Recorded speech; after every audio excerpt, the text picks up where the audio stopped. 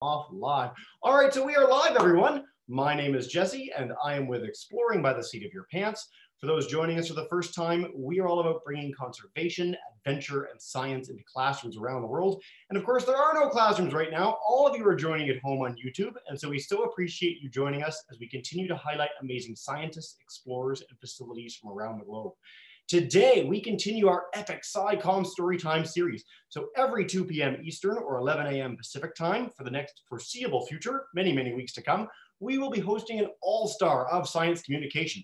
And today's is about a topic that's close to my heart.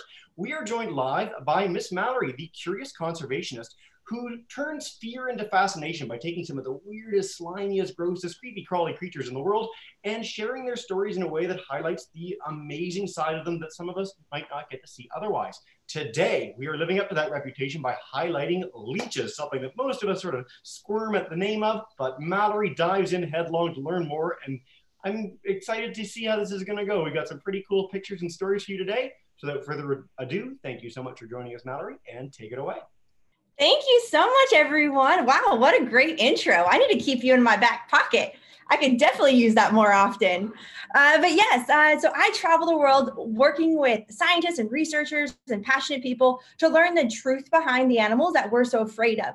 It's really amazing the effects that like movies and um, just rumors, I guess, that people come up with that really kind of put these guys in the bad light. And if you really think about it, that has so much influence on us because we think about like mosquitoes. Well, not very many people talk about bad things about mosquitoes, yet they kill more people than any other animal that we're so afraid of.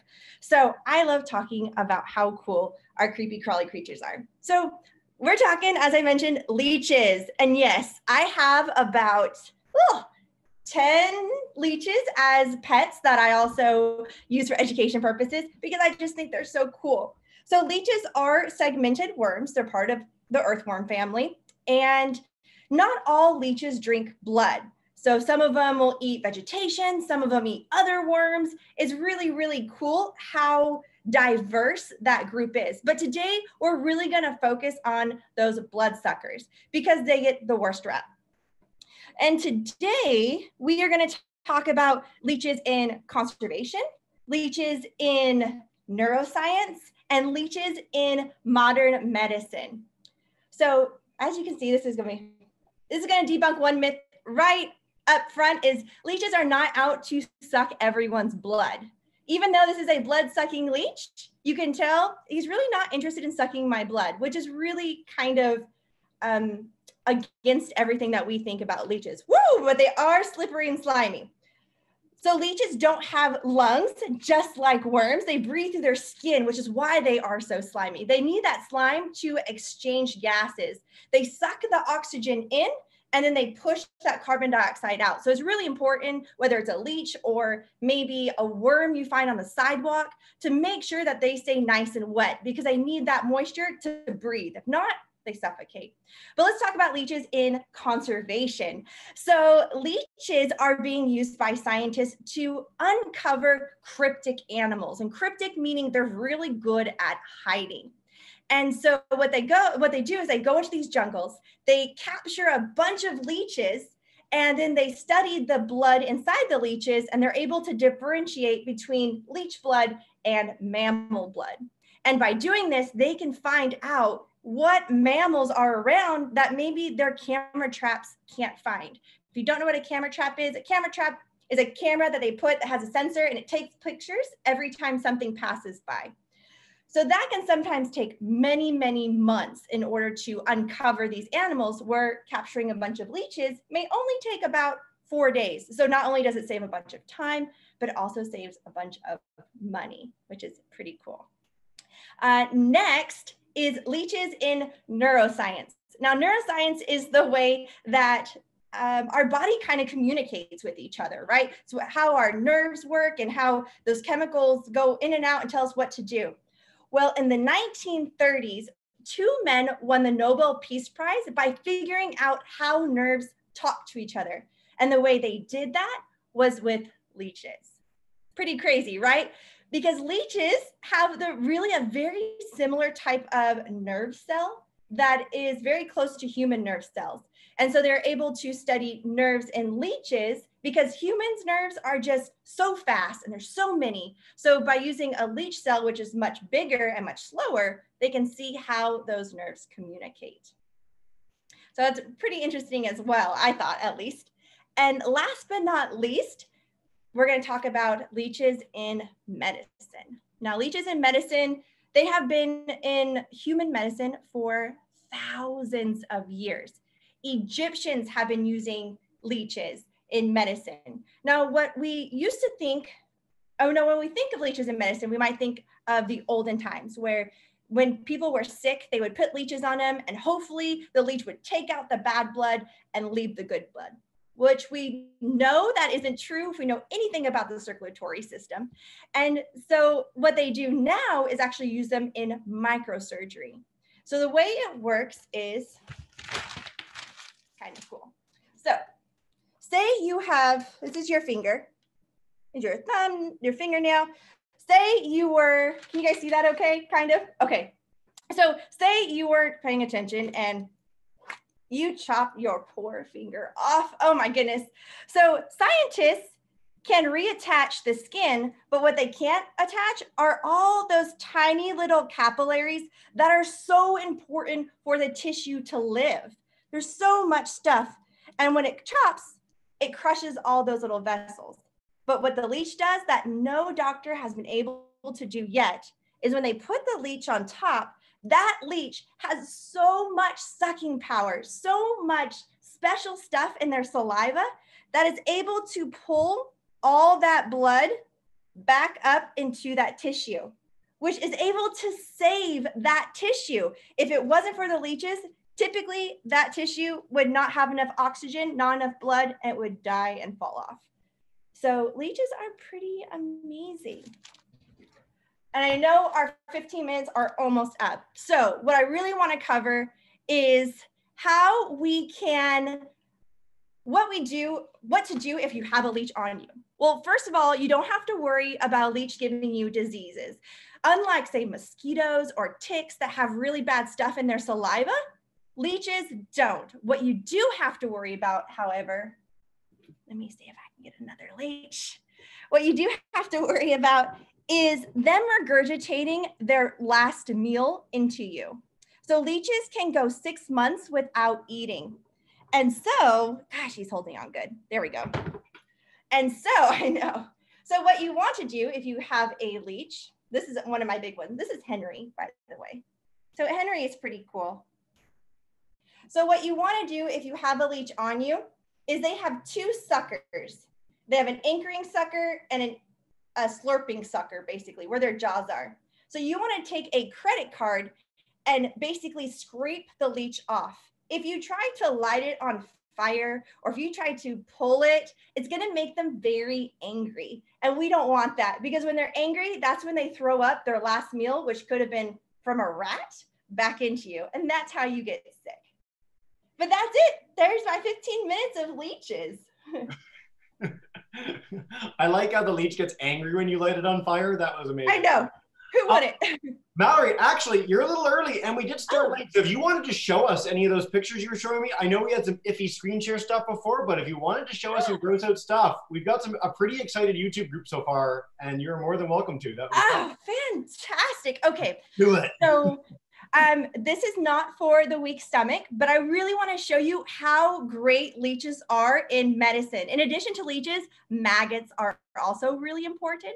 So leeches are USDA medical devices, which means that, you know what? I wonder, should I do the desktop instead? Yeah, try that. Let's try desktop. If it didn't work the other way, we're going to make it work. Besides, no matter what, we've already got some really cool leeches. We had Henry. I mean, how do you beat Henry? I know Henry is pretty amazing. Okay, so we're going to go to desktop two and share. Okay. okay. Are you seeing it okay? It looks great. Yeah. Okay. So let's go to, sorry guys, I am still so new to all of this stuff. No worries at all. Okay. Not the fun. And while you're getting this ready, while you're getting the screen up, uh, you've got slide, yep, slide one and two. Just a note for everyone on YouTube, get ready to type in questions. We're going to take tons of questions from Mallory because I'm so excited to hear her answers already. But yes, you're in slide two. We've got a cool leech mouth. Take us away. Yeah, so leeches have three mouths and each one of those mouths has about a hundred teeth. So you can tell they have a real, they have big, big, tons of teeth. Um, this is microscopic level, so you're not gonna really see this when you look at a leech, but they do have that signature um, kind of three lined or Y wound.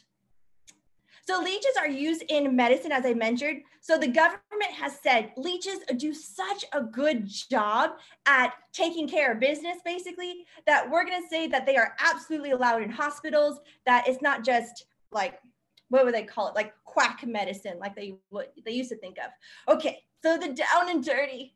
So leeches are really fantastic about bringing the blood to the surface. And as I mentioned, they have really special stuff in their saliva that prevents the blood from clotting.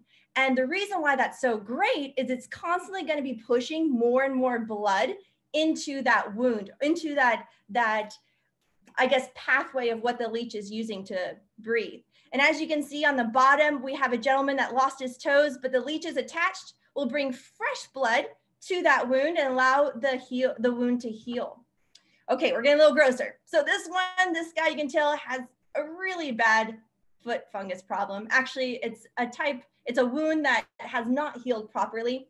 And so the leeches are able to bring fresh blood to that wound and allow that new skin to grow, which is able to remove all that other gross stuff. And last but not least, what we were talking about earlier is when you when you cut off a finger or an appendage, there is no more blood that's able to go to that appendage. And if you look in the top right picture, you can see that's bruising and it's starting to get congested, venous congestion. And so what we want to do is prevent that. So by putting a leech on it, they are pulling that blood through that wound and reestablishing all that blood connection that's needed. And then you develop a healthy finger again. But if you guys are interested, um, I do Miss Mallory Nature class live Monday, Wednesday, Fridays um, at 1 p.m. Pacific time. And this is a picture of me doing a blubber mitt, which was really fun to talk about how whales stay warm in very cold waters. And then for the younger crowd, I also do um, story time where we highlight an animal and then also read a book. And that's it. How cool is that? So yeah, come back on a screen share. Hopefully this all works so well, but that was fantastic. And the, the grossest medical pictures we've ever had in one of our sessions. And we so uh, for yeah, for everyone tuning in on YouTube, just let me know where you're joining from. Type in questions in the chat bar, and I will pass along as many as I can to Mallory.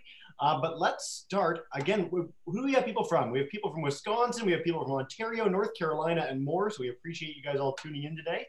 Um, wow. So now I just got to get back to. Take can you see me at least? I can hear you fine. It should just be a big red button on the top that gets you to screen share, but we'll figure that out in a second. That says stop share. There you go. Perfect. We're yes. Wow. I'm getting my own lesson today. All right. So uh, we had another YouTube channel, a really, really popular nature YouTube channel tune into yours. The Wild Report wants to know, after the leech sucks the blood back into the tissue, can the capillaries regrow? Yes, absolutely. So that's what doctors are using them for is by pulling that blood, not only is that blood bringing healthy oxygen to that tissue, but it's also bringing healthy oxygen to the outer walls of the blood vessels. So it's helping all the way around.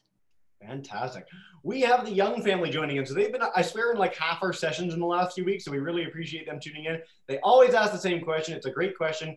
What is your favorite part of your job? And I'm not sure you're going to be able to pick one, Mallory. No. So what's really kind of neat or cool is this actually isn't my job. It's just my hobby. I love it so very much. And just like you guys are doing um, with your with your kind of platform is you do it because you're so passionate about it. But my favorite thing is when I get the reactions from the kiddos. Um, I love when they're like, "Wow, I used to be so afraid of them, and now I think they're just so cool." So kind of changing perspectives is always my favorite thing. Fantastic. Um, all right, we had a question from William in Sudbury. He wants to know, can leeches suck your blood through a plastic glove? So, I mean, in your hand, obviously they can suck your blood, but no, not if you have a glove on. No, so what it depends on how thick the glove is. Now remember, they have teeth, and so they're able to pierce through thin membranes thin material. So if your glove isn't very tight or it's not very thick, then it can. Um, however, for some reason, leeches really aren't, they don't like the taste of gloves very much, unless it's a very hungry leech. So as long as you're wearing gloves, you should be okay. Okay, good to know. Uh, John wants to know, do most medical centers have leeches on site to be used, or is this something they have to bring in or order in, or how does it work? So they don't really have leeches on hand. They typically have to order them in from special laboratories. So they're not collecting them from the wild like they used to. Now they're actually grown in laboratories around the US and they just put in an order, they're shipped overnight, and then you get your leeches. What's what I think is really cool about leeches is we think leeches are considered parasites, right? Because they harm their host in order to benefit themselves. But it was humans that actually made the leech almost go extinct because we were using them so much. So in the early 1800s, the European medical leech almost went extinct because we were harvesting them so much. So we're kind of like the parasite in that situation, huh? Huh, how about that? Very neat story. This is great. I'm having so much fun. Uh, all right, this is a neat question. You talked about leeches sort of regurgitating their last meal into us if they're they're traumatized. If a snake bites you, if you have some sort of venom in you, and a leech sucks your blood, does the leech get affected by that or not? Uh, so it could. However, we should know that when you are bit by a venomous snake, sucking out the venom is really not going to work because as soon as that venom hits your circulatory system, boom, it just goes all over the place. That's also why tourniquets aren't a good idea either. So, and the leech, um, but because it's in your blood system and it's sucking up that blood, it will also get some of the venom as well. Yeah, but I love that that got brought in. Like, I, I love the thought process behind it. It's like snake bite you. like, get some leeches, get them. oh. Suck it out. Yeah. no, sorry, you're too nope, late. Yeah. It's amazing how fast our, our circulatory system works. It is. Um, all right, young family again. How long can leeches live? Oh, great question. So some leeches, like for instance, the ones I have, live to be about maybe two to three years old, but there's some that can live decades. So there's still being research done on certain species, but for the most part, they're about two to five years. Yeah, I have a question that I, have never heard of from anyone before. Do leeches have something that they prefer? So if there's multiple animals all in a woodland together, um, is there something that the leeches can sort of smell and sense and, and know that they want the most? So they are opportunistic um, feeders. However, there's some leeches that really prefer, say, reptiles or turtles. And I don't know if it's just because, I mean, they're not they're not super smart animals, right? So uh, they just they're more opportunistic. So if they know something that works, they're going to usually go for that. And then if something else kind of passes by, like a human leg, then they might take advantage of that too. Perfect. All right. And then a flip side of this question from someone on YouTube: Is there anything that leeches won't go for? Like, there's are there creatures that they avoid, like the plague? I like the plague. I love that. Um, not that I really know of. As far as so, for instance, like a, a leech that wants to eat only vegetation, decaying vegetation, won't go after blood meals. However, if it is a blood meal, they are probably going to go after anything that does work. Again, though, really, you have nothing to worry about with a leech I'd be more worried about those mosquitoes that are buzzing around me or that tick that I might get more so than a leech that I might get in the water. Yeah, fantastic. I want to stress something. I forgot to mention it when we finished up. You talked about conservation uh, understanding through leeches. We did a session on that with a woman live in Madagascar who actually studies them and, and goes out to remote field sites to catch leeches and see what sort of animals that they have sucked the blood of, which is a really neat way of, of learning about that. Oh my goodness, I'll have to go back and watch that. I think that is so fascinating. I've put it in the chat bar for anyone who's interested, and I'll send it to you directly when we're done. Please, that sounds so. Was her name Sarah by chance? Uh, May, M A I. But I want Sarah. If there's a Sarah out there doing this too, let's get all the leech sessions going. Um, all right. Uh, what are some predators to leeches? What eats them? Just about everything wants to eat a leech that was wanting to really eat a bug or a worm. Um, so birds, smaller mammals, anything that basically can find them before they find, but anything that the predator can find the leech before the leech can find the predator. Perfect. And now you mentioned at the beginning that they're segmented worm. And so some people might know that if worms are chopped in half, maybe by accident and hopefully by accident, yeah. Uh, they can become two full worms. Is that true of leeches as well? Uh, so that's actually a myth all in itself. When you cut a, a worm in half, majority of their heart is they so they worms for instance have single chambered hearts. They have five and that's closer to the head. So if you chop a worm in half only the head side is actually going to know to reproduce or sorry to regenerate where the back side is going to die So you don't get two different worms, but what you are saying is actually really fascinating about the leech because scientists are working with the leech and studying leech because they have such great regenerative powers. And so they're hoping that by studying the brain of the leech, that they can help us regenerate our nerve cells as well. How cool is that? So if you do cut off the tail though, like it will regrow a new one. Yes. How neat is that? See, this is something that's so fascinating. As humans, I mean, we can regrow bones and heal bones and regrow skin, but if we lose a limb, we can't grow that back. And a lot of things in the amphibian family and, and worms and things can, can do that. Um, I'm so glad we got that brought up. Very yeah, cool. nature is so amazing. But yeah, definitely don't try. So the only worm that you can cut in half and it'll do two is the flatworm. So they'll grow two different ones How freaky is that? I want to stress too for people at home, sponges. So like the things in the bottom of the ocean, you can run them through a sieve and all the cells will recombine together and form the sponge again, which is really neat. Really? So, really? Isn't it true too with a starfish? They used to think that they could cut the starfish up and then all of a sudden the starfish are starting to basically create their own mini versions. That family is of animals is really fascinating with its ability to regenerate. So yeah. I need to check on that specifically, but probably, I mean, there's anyway, we could go all day. um, William wants to ask, how many different leech species are there? So, oh, it's such a good question. So I, I'm not, I can't say for sure, but I want to say it's over 4,000. Yeah, so a lot. And remember, not all of them drink blood, and there's some that are marine, some that are freshwater, some that are terrestrial. So just by comparison, because 4,000 is a big number, but just to understand it. So all the mammals in the world, all the bats, primates, antelope, mice, rats, whatever, is about 6,000 species. So there's almost as many leech species as there are all the mammals, everything with fur that we've ever seen uh, and, and found in the world. So I cool. know, it's so crazy. So Mallory, while we're waiting for a few more questions uh, from people on YouTube, I just wanted to ask, is there anything that specifically that you love? Today you've highlighted leeches. Are there creatures that are your favorite creatures that you just love above all others? Oh my goodness. So my top five favorite animals are, of course, the leech. I love um, American eels. They have such an incredible migration. Not very many people know they start in the ocean, they migrate through estuaries into our streams. They live their life there about 12 to 15 years, and then they have to go all the way back to the ocean to spawn and lay their eggs where they die. I mean, that's such an incredible uh, just migration. I mean, it's so crazy that very many people don't know about those American eels. I also love hagfish, which are primitive. Um, yeah, I love your reaction. They're these primitive fish that live at the bottom of the ocean that are so important. They're scavengers, but they're just so cool. And they have this slime that is more like um, spider silk that expands in water. And scientists are using them to learn about different kind of fabrics they can make, and even the Navy's using them as defense mechanisms. So those are probably like my top three. Um, and maggots are also really cool in medicine too. So medicine, how did you get interested in, in medical applications of animals? Was it something you stressed today? Is it uh, from a personal experience or how did you get so keen?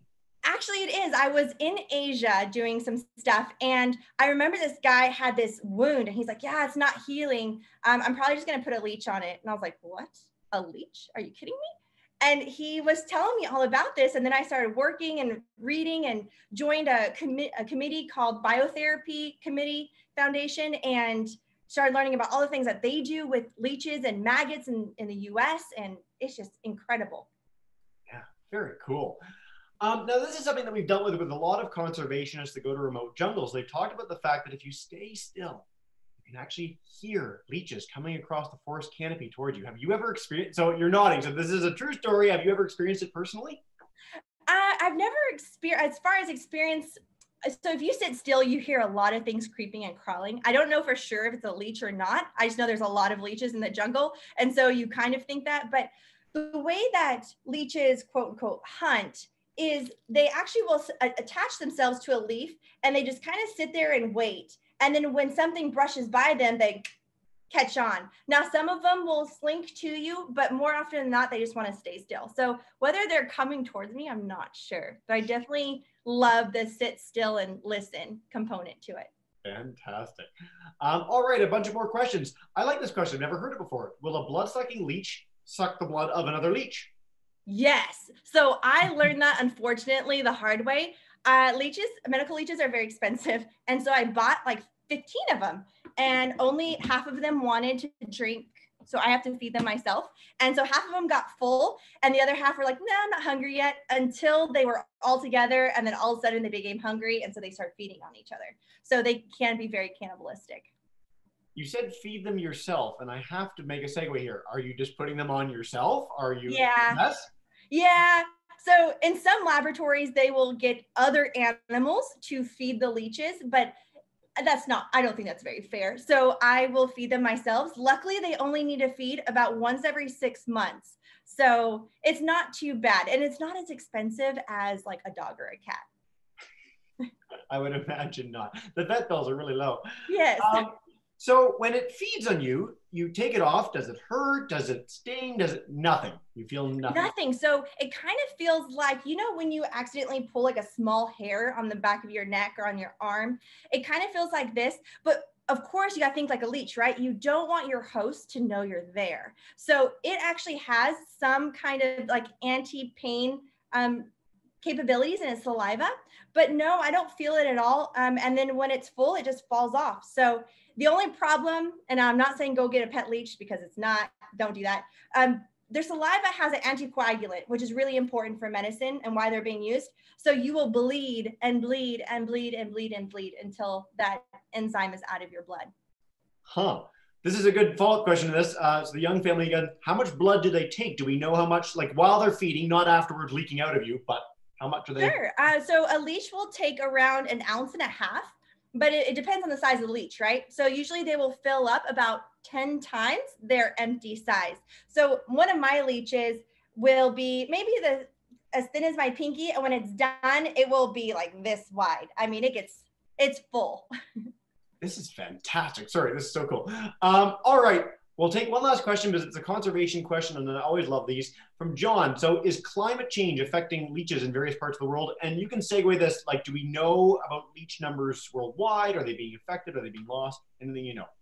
Absolutely. So climate change is, in addition to human development, is really having effect on their habitat. They need wetlands.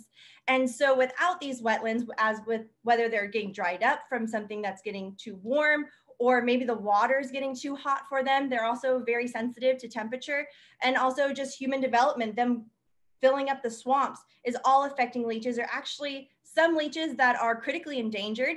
Um, the medicinal leech in Europe, in some places where it used to be found, you can no longer find it. So it's it there is some significant conservation that is being done to help protect the leech. And yes, climate change is unfortunately one of those for it's a, fa- it's a factor for everything. Every animal we deal with, every time there's a conservation story, climate change plays a role, which is why it's so important to do things to, to absolutely, absolutely. Miss Mallory, before we wrap up, uh, you've already highlighted a little bit of this, but is there a place we can send people watching live to learn more about you, about leeches? Where can we put them? I've already passed along your website in the chat bar and in the YouTube comment section so people can check that out and all the amazing work you do. There anywhere else we can find you and more about leeches? Oh, please. So Instagram and Facebook, I'm always there talking to people. And I also put stories up all the time with little fun quizzes so you can test your own knowledge.